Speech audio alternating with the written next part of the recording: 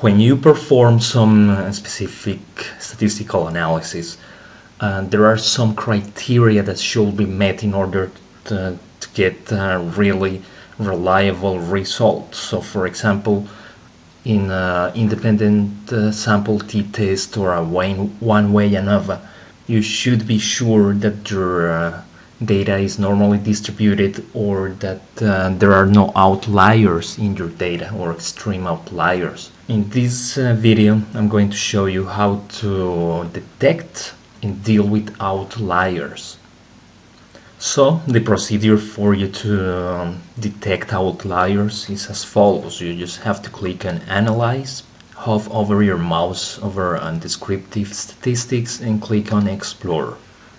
Now again, let me just uh, change this to display variable names, so it's shorter. And uh, we want to check outliers in these two scales, competence and Verne. So we select both and add it to our dependent list. In this case, we are not going to add a factor list. A factor list in this case might be sex or gender.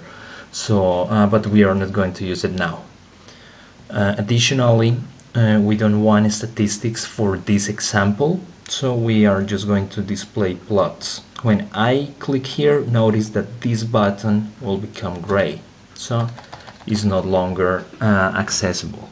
Now let's go to plots, and we have these options here. Since uh, I'm just going to show you how to uh, detect outliers, uh, you just have to deselect stem-and-leaf. Uh, we don't want normality normality plots with test. We are going to use this when we are uh, checking for the normal distribution of our data. And additionally, in this case, I want dependents together. So we are going to have both scales inside the same box plot. If uh, we keep factors level together, we are going to have different graphs. Now uh, we just click on continue. As I showed you the last time, uh, click on paste so you have a chance to see the syntax of the action you want to perform and uh, you will be able to track everything you do. Select this part and click on run. So we have first here uh, some statistics for our scales and we have here our box plots. So as you can see here we have some points here and here and some of those are had a circle and other have an asterisk. A circle means that you have outliers and an asterisk is that you have extreme outliers. The number that you see here for example is the number of the case that contains the outlier so you are able to track it down and uh, make a decision whether you uh, delete uh, the case or you fix the case. How you decide this? Uh, think about three major uh, possibilities for you to deal with outliers. An outlier uh, might be caused because of wrong typing a data entry so for example you made a mistake in the um, entry process of your data and accidentally just uh, type in a higher or a lower number than your actual scale uh, allows to. If that's the case, is uh, that's the easier scenario. You just have to uh, fix this uh, uh, entry, and there is no problem.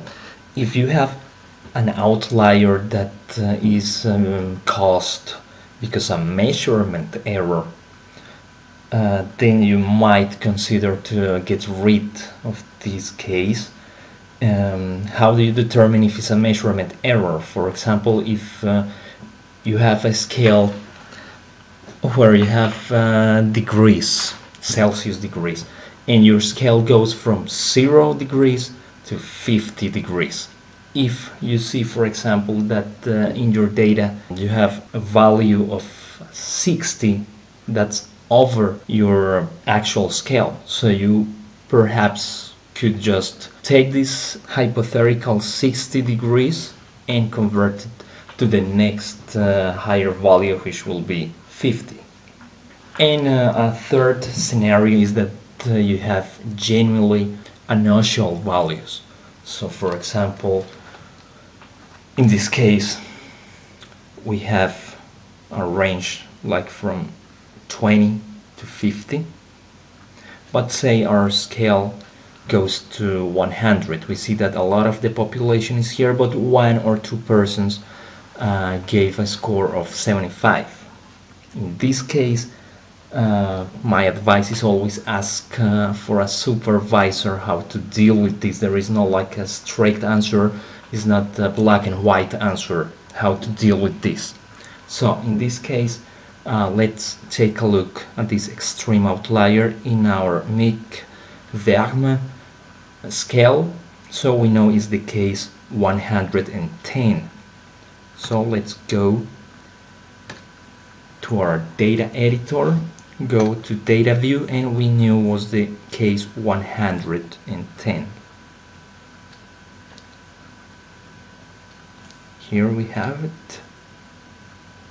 Let's find here our scale and we can see here that this value is 140 if we uh, take a look at the other values. We see that this is a really um, initial value really high but uh, in this case you might assume that the person who entered this uh, data point accidentally type in the one first making it 140 makes sense to think that this was actually a value of 40 40 is something that is in between all these values. So we are going to fix fix this enter 4 and rerun our analysis.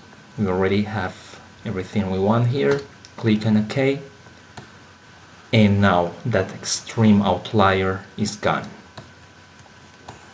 As for these values those are outliers but seems to be within range of the rest of the data.